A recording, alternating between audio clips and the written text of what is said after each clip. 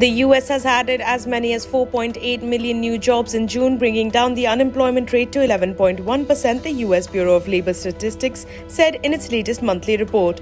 The unemployment rate declined by 2.2 percentage points from 13.3% in May, and the number of unemployed persons fell by 3.2 million to 17.8 million.